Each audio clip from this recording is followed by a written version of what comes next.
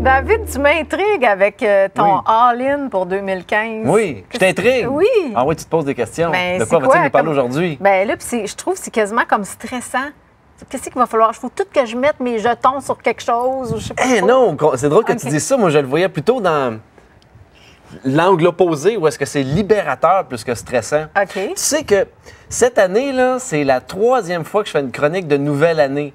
Pour... non, non, mais Ça veut dire que vrai. ça fait longtemps que tu es sur le divan. Fait que je ben, c'est ça, ça fait a longtemps que je suis sur le divan, mais pas Ouais. allongé en psychanalyse, Non. mais en- dans, dans bon, l'autre position, si on peut dire. Puis euh, je, je me suis dit, qu'est-ce que je peux faire cette année pour proposer quelque chose de différent, de ne pas Ouais. être dans les fameuses Ah, ça, résolutions on est ou comme les plus capable. 10 objectifs, là, on dirait, là, que, ah, je suis tanné, Ouais. là, ça ne me tente pas de parler de ça. Je me suis dit, cette année, on va faire quelque chose de différent Ouais. de differentes. Ouais. Fait que, on fait un donc, all-in. j'ai envie de proposer ce qu'on appelle le all-in. Est-ce que tu connais le concept? Tu sais ce que Ben c'est? oui, là, je suis à peu près là, au poker, là, quand tu décides que tu mises tout ce que tu as sur. Regarde, selon le Larousse, là, euh, la définition exacte, c'est si vous misez la totalité de vos jetons au même moment, vous êtes considéré comme étant all-in. OK. Donc, ce que ça veut dire, c'est que tu mobilises toutes tes ressources, Ouais. toute ton énergie, tout ton cœur, tes tripes, Ouais. tu mets ça en avant sur une affaire.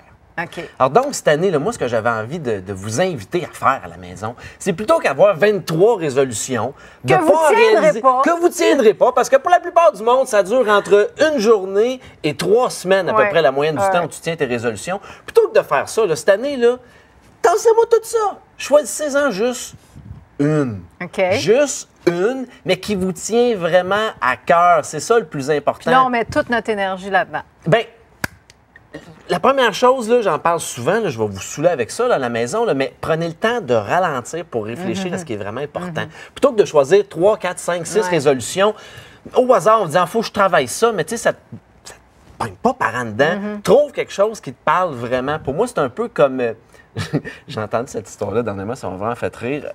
Tu sais, le succès, c'est un peu comme si tu prends ton échelle, tu la cotes sur un mur. Puis le mur, c'est le succès. Il y a beaucoup de gens qui montent jusqu'en haut, puis ils réalisent une fois qu'ils sont en haut, qu'ils ont à côté leur échelle, mais pas sur le bon mur. Puis là, il faut qu'ils Descendent, redescendent. remontent. Ça, c'est ce qu'on appelle les crises de la trentaine, de la quarantaine. ah. Attends pas de te rendre jusque-là. Tu sais, là, 2015, là, vous avez fait le party, là, fin Mm. 2014. Là, prenez une journée, une demi-journée, relaxez, puis réfléchissez à ce qui est vraiment important pour vous en 2015. C'est quoi la priorité, le Mm. Ouais. truc que tu veux vraiment faire? Oui, puis c'est peut-être pas quelque chose de grandiose. Tu sais, comme je parlais, moi, en ouverture, d'être plus présente.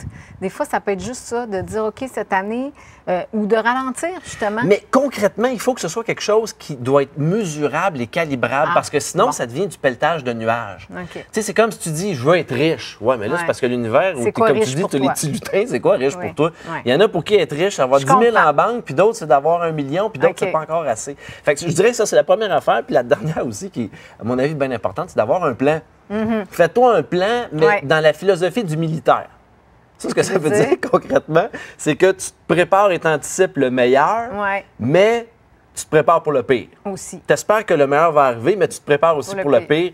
Un plan B, un plan C, un plan D. Qu'est-ce que tu vas faire si ça marche pas, si tu es en face Ouais. d'une confrontation, si ce que tu as voulu changer ou risquer en début d'année, ça fonctionne pas comme tu l'avais prévu? OK, j'aime Voilà. ça. Super. Écoute, ben, pour terminer ta chronique, là, je veux te dire, il y en a qui, qui vont écouter ton, tes, tes conseils parce qu'entre autres, Cathy Gilbert nous a écrit sur Facebook.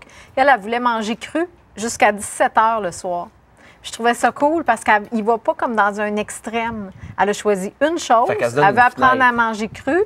Ben, elle va le faire jusqu'à 17 h le soir. Je trouve ça très J'aime ça parce que c'est modéré, puis en même temps, tiens, moi je finis avec ça. Je pense que le plus grand risque dans la vie, c'est de pas prendre de risques. Ah, c'est Fait que bon. risquer, là, en début C'est 2015, super. All in, all in, all in. tous les jetons sur la table. Let's go. Merci, David. Bernard.